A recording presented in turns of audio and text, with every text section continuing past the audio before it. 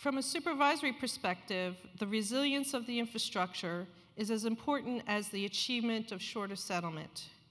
Shortened settlement can increase operational risk as participants have less time to respond to potential issues and errors. And therefore, I would like to emphasize the importance of improving operational processes to ensure the process is scalable and resilient and can reduce operational problems and remediate any that may arise in the short time frame. Specifically, as pre-settlement periods shorten, the importance of straight-through processing and quicker positive affirmation of trade details increases. So in other words, the devil is in the details uh, with regard to um, shortened settlement cycles.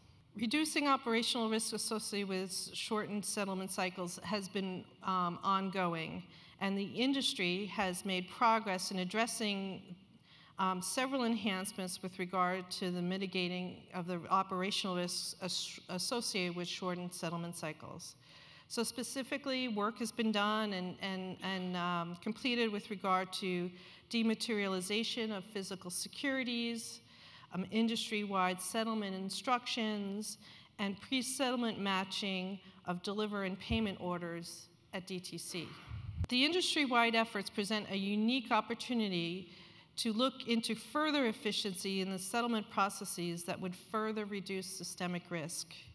The industry should look at additional potential areas for improvements and prioritize them based on the highest risk benefit as, as we move forward to shorten the settlement cycle.